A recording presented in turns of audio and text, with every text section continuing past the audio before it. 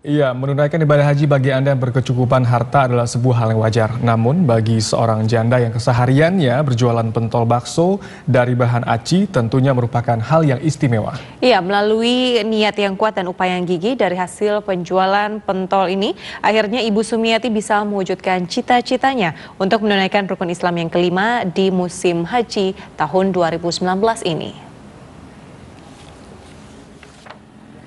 Di musim haji saat ini merupakan musim yang ditunggu oleh jamaah calon haji yang hendak menunaikan ibadah haji ke Tanah Suci Mekah. Tak terkecuali jamaah calon haji yang berada di Kabupaten Magetan, Jawa Timur. Pada tahun ini ada 454 calon jamaah haji yang berasal dari Magetan. Dari jumlah ini ada salah satu calon haji yang menarik dan unik karena sang jemaah calon haji adalah seorang pedagang pentol atau cilok yang dalam seharinya berpenghasilan 40.000 hingga 60.000 rupiah. Pedagang cilok naik haji ini diketahui bernama Ibu Sumiati, seorang janda yang berusia 53 tahun, warga Sukawati, Kelurahan Tawang Anom, Kecamatan Magetan, Magetan, Jawa Timur.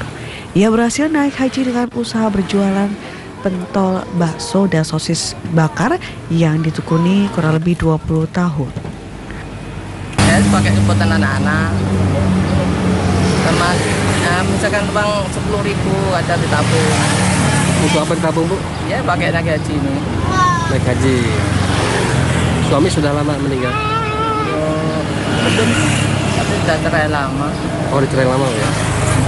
Sumiati akan berangkat haji bersama ratusan jamaah calon haji asal Kabupaten Magetan yang tergabung dalam kloter satu embarkasi Surabaya.